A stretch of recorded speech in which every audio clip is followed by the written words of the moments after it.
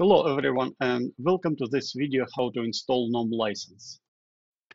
To install a non-permanent license, we need first to obtain permanent NOM license keys from the Micro Focus license portal, then place the license key files to the local drive and launch the Autopass license server console from any supported web browser.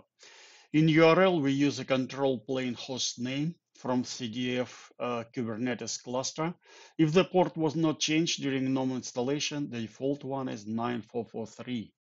To install the license, we log into the Autopass license server as the user NOM admin, then click Install on the license drop-down menu, click Add Files, browse to the location of the files and click Next. Select the listed licenses and click Install licenses.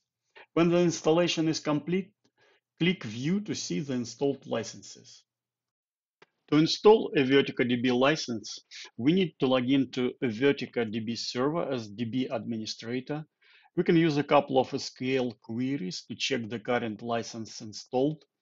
Uh, then copy the license key file to the Vertica server, open the admin tool, uh, go to advanced menu, then upgrade license key, select the DB name from the list and click OK.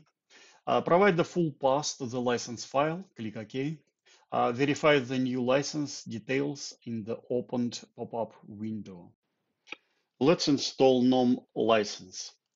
We log into the Autopass license server, go to configuration, click view. We can see NOM instant on license was created during initial NOM installation and it has been already expired. Uh, go to again license and click install. Click add files, select NOM license, select also NOM BVD license, click open. Then next, uh, select all licenses and click install licenses. Now we can see that all new licenses have been installed. Let's install the Vertica DB license. I logged into the Vertica DB server and execute VSQL. And let's check the current installed license. We can see Vertica Community Edition.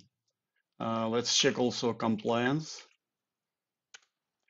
Uh, license size one terabyte. Okay, we exit and to install new license, we need to open admin tool. Go to advanced menu, then upgrade license key. Select the database. Now we need to type the full path to the license file.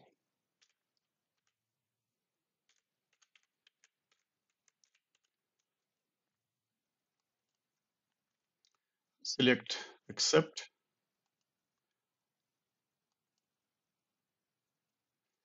Password.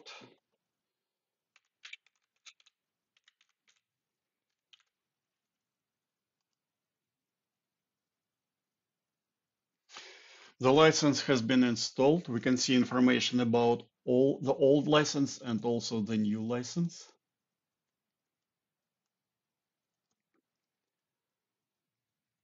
Uh, exit. And let's check also the installed license from VSQL.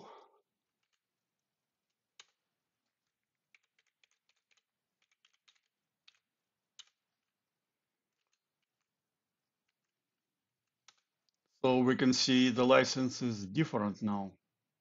And also check the compliance.